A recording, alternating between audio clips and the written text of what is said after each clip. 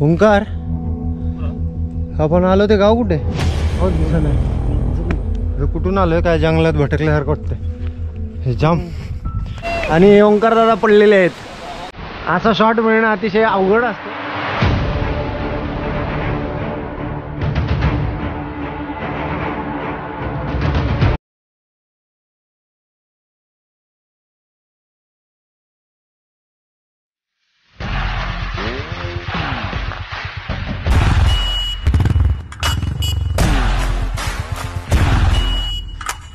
नमस्कार मंडळी पुन्हा एकदा स्वागत आहे आपलं बायकर बडे या मराठमोळ्या चॅनलवरती. आणि आज आपण चाललेलो आहोत लवासाच्या पुढे असलेला लिंग्या घाट.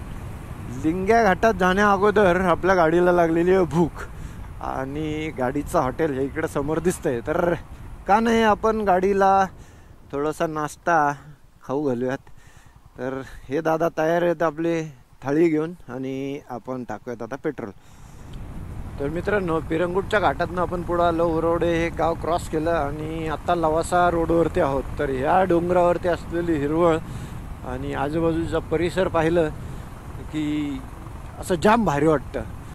तर तुम्ही कधीतरी या या ठिकाणचा आस्वाद घेण्यासाठी या हिरवळीचा या निसर्गाचा आनंद घेण्यासाठी. तर मंडळी आपण लवासा मार्गे चाललेलो आहोत आणि याच मार्गामध्ये लवारडे नावाचं गाव आहे आणि त्या गावामध्ये हा आहे टेमघर प्रकल्प. या टेमघर धरणाचं पाणी वरतून जेव्हा सांडवतनं खाली पडतंय किंवा ज्या भिंतीवरनं खाली पडते खूप सुंदर असा नजारा या ठिकाणी बघायला मिळतोय.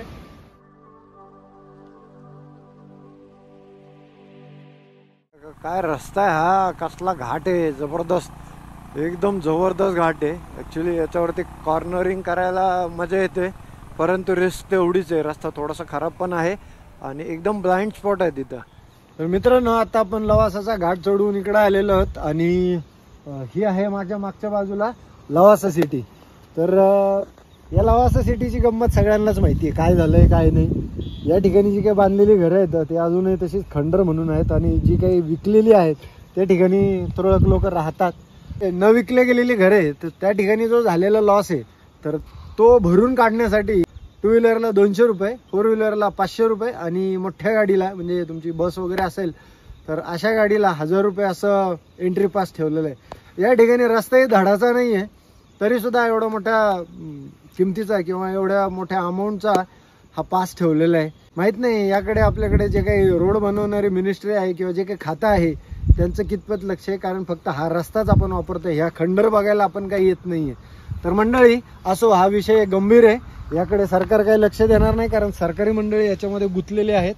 आपल्याला यायचं धामणवळा आणि या पुढच्या भागातनं आपल्याला तो रस्ता आहे. तर या गावाकडनं आपण ह्याच्या पलीकडे असलेले धामणहोळ धरणाकडे जाणार आहोत आणि तिकडे जाऊन आपण लिंग्या घाटाचं मस्त निसर्ग एन्जॉय करणार आहोत.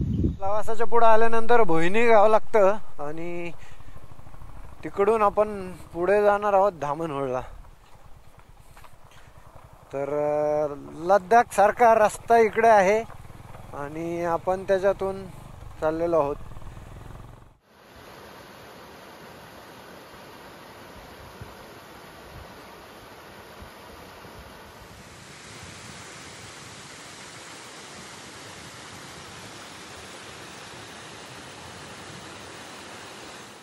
वाव छोटे छोटे धबधबे ठिकाणी आपल्याला बघायला मिळतात मित्रांनो. हा हे एक नंबर रोड आहे हा. आता रस्ता खराब आहे पण निसर्ग खूप भारी आहे.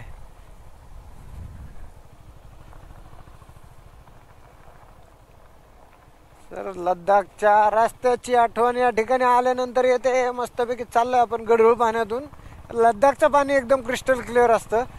इकडे लाल मातीमुळं ते थोडंसं गढूळ झालेलं आहे. नमस्कार मित्रांनो आणि सकाळ आपली झालेली होती मगाशीच आपण छानपैकी असा प्रवास करून या ठिकाणी पोहोचलेलो आहे. धामणवळे गावामध्ये आता आपण आहोत आणि पाठीमागे आहे आपली हायनेस ही मंडळी अं, लिंग्या घाटाचा ट्रेक करण्यासाठी आलेली आहेत आणि बहुधा ते आपल्या सोबतीलाच असतील. तर मंडळी सगळ्यात प्रसन्न गोष्ट म्हणजे माझ्या पाठीमागे असलेला हा सर्व असा नैसर्गिक परिसर या परिसरामध्ये आल्या आल्याच असं एक वेगळी वाईब येते. एक वेगळं वातावरण असं आपल्याला वाटतं. कारण या ठिकाणची हवा अतिशय शुद्ध असते. निसर्गामध्ये या ठिकाणी कुठलंही प्रदूषण नसतं काही नसतं. आणि अशा ठिकाणी आज आपण आलेलो आहोत. तर मंडळी आपला ट्रेक आपण लवकरच चालू करत आहोत. तर तत्पूर्वी हा जो मागचा काय परिसर आहे तर हा परिसराचा आपण थोडासा आनंद घेऊयात.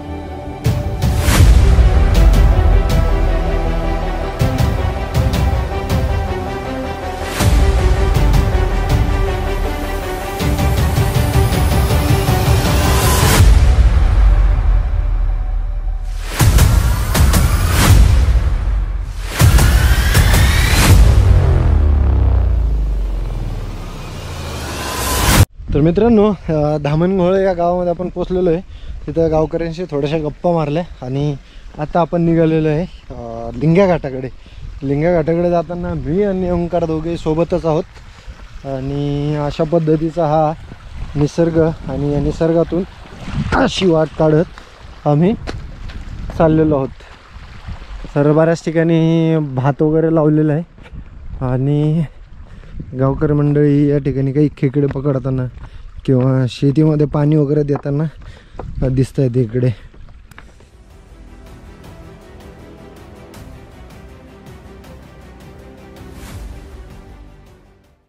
ओंकार? आपण आलो ते गाव कुठे?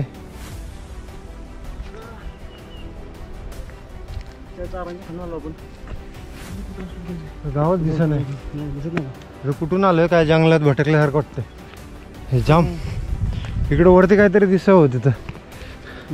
ते बहुतेक ते मचान बिचन असं काहीतरी बांधलेलं दिसते पाहू आता. वाट कुठेतरी घेऊन जाते. लक्षात ठेवू आपण ती. चुकलं विकलं हीच वाट आपल्याला परत घेऊन जाणार आहे. तर दादा आपले छान गुरे चारायला आलेले आहेत आणि त्यांची निहारी चालू आहे.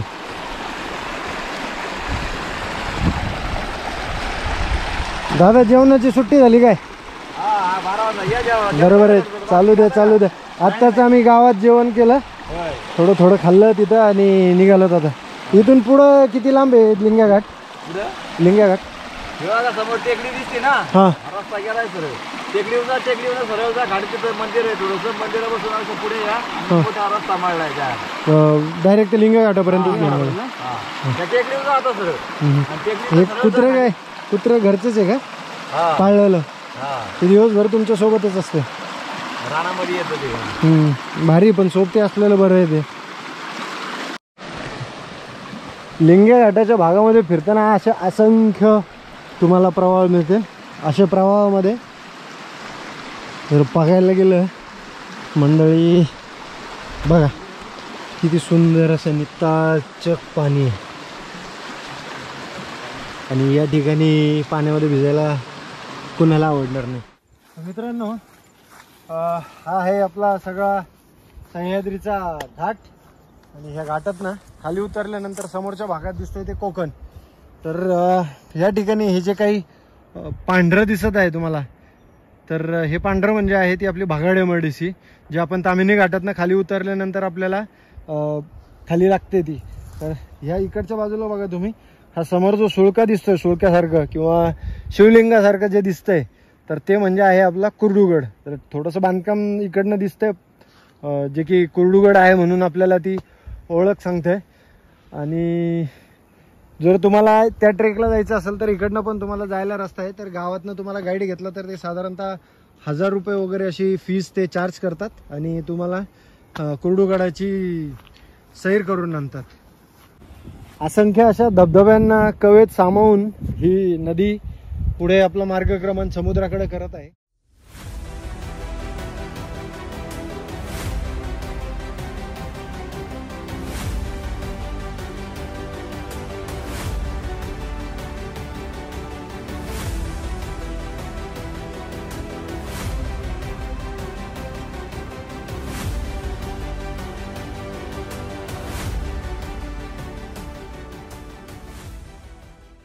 मित्रांनो हे जे पाणी आपण पाहत आहोत आता हेच पाणी आपल्या अंगावरती पुढे गेल्यानंतर धबधब्यातून पडणार आहे.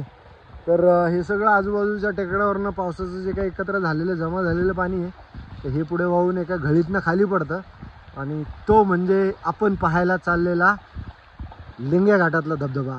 शनिवारचा दिवस असल्या कारणाने सर्वांना सुट्टी आहे आणि सुट्टीच्या दिवशी ही सगळी मंडळी या ठिकाणी आलेली आहेत.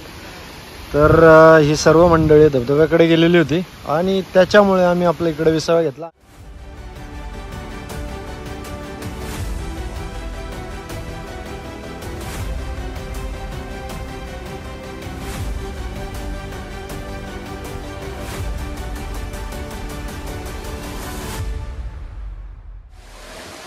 मित्रांनो सह्याद्री जेवढा सुंदर आहे तेवढा आजश्रेय आहे.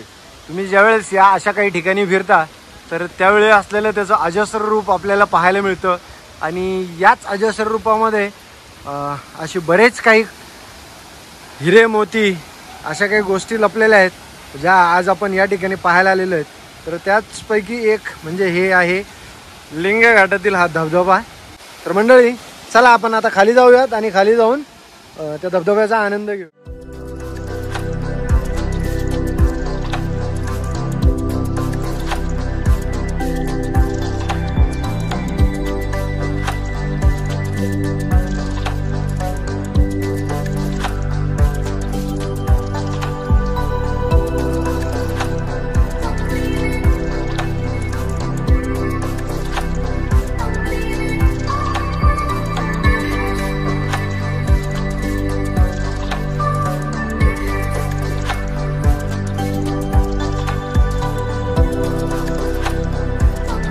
पाणी एवढं स्लोली येत आहे त्याच्यामुळे कोणाची हिंमत नाहीये.